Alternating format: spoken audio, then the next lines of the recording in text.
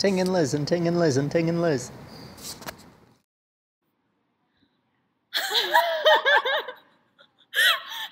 okay, okay, for real. I'm Liz. Uh, this is Ting, and this, this is Liz. And this is the Ting and Liz show. So we're gonna give you interview tips, five interview tips, and at least two of them are gonna definitely help you.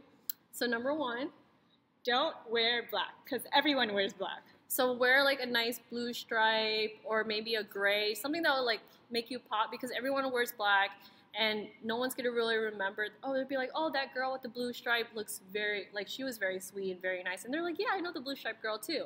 So that type of thing. Number, Number two, two. be funny.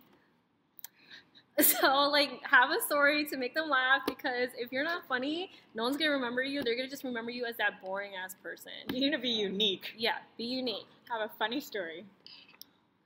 Uh, I made my person laugh, and here I am. And number four is to mingle and talk to people when you have downtime, like especially the staff there, the professors, the interviewers. Talk to them, get to know them. That way they'll remember your face when you interview. Yeah, and like the minute you sit, you set on campus, they're watching you 100%. So they're trying to see if like you're open and you're friendly, even if you're not talking to them. Like talk to other people, even though you don't care about them. it's true. You know, like you're like you have to show that you care. That's that's the number one thing. Number five, the last one, have fun.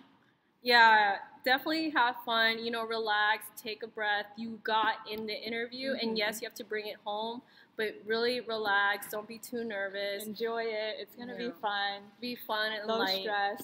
And if you need to calm down, just take a shot of tequila. Done. They- yep, mouthwash. Bye.